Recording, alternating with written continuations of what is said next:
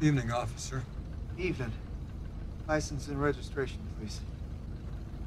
We could do it that way.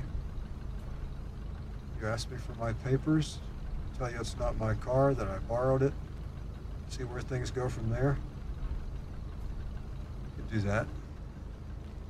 Or you could go get in your car and drive away.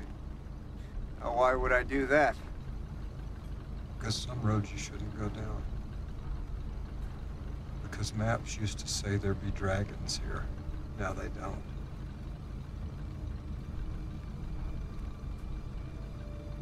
But that don't mean the dragons aren't there. Dad, come in, Dad, over. You step out of the car, please, sir. How old's your kid? I said step out of the car. Let me tell you what's gonna happen. Officer Grimly. I'm going to roll my window up, then I'm gonna drive away. And you're gonna go home to your daughter. And every few years you're gonna look at her face and know that you're alive because you chose not to go down a certain road on a certain night.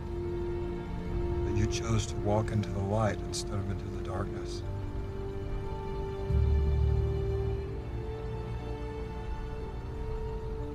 Sir.